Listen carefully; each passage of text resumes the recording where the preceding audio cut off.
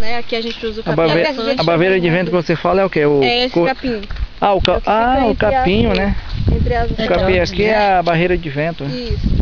Então aqui a gente usa sempre ninho, indiano e leucena como barreira de vento. Só que aqui como tem o pivô, é, tem que ser uma árvore mais macia, né? mais Pivô é aquela coisa lá na frente tudo? É, aquele negócio Que ele de roda, aquele todinho 360 roda? metros.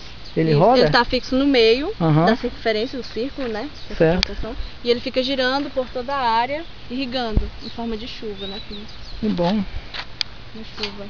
Tá aqui o menino que Se vieram ele estivesse comigo. mais próximo, a gente podia ir lá, mas fica bem, bem longe. Nós dá outra parada lá, né? Aqui é um refeitório, né? Não, aí é o, o galpão de onde a acerola vem, do campo. Ah, tá. Aí ela vai toda pra lá e vem os tratores e levam pra fábrica. Ah, Bacana, sim. bacana de açúcar. Não, é capim elefante. Capinho. Capim elefante. Isso. Capinho para fazer barreira de vento. Isso, aí a gente sempre planta duas fileiras. Lá, Quando né? uma tá grande, a gente corta e leva pra fazer silagem, que é pro É? alimento do gado. Aí fica um.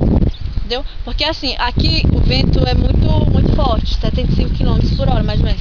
Então sempre tem que ter barreiras de vento entre as acerolas, a cada seis filas. Porque senão o vento vai fazer com que a acerola aborte as flores, né? Vai trazer pragas, aí, enfim, traz muitas consequências. E as barreiras ajudam muito, né? Tratamento do solo, também na proteção da acerola. Então a cada seis fileiras tem uma barreira de vento em toda, todos os blocos. A gente vê aqui, ó, a gente vê as filas, dá pra ver. Ô, tu vai te esperar aí capim elefante? Pois é. É. Tá aí meu Ju- amigo Juliano, você tá vendo aqui? A gente no meio da plantação de acelora, amigo. Aqui nossa amiga aqui, Júlia, fazendo a nossa explicação. E aqui a gente vai dar uma saídazinha para mostrar mais algumas coisas. Ah, o que?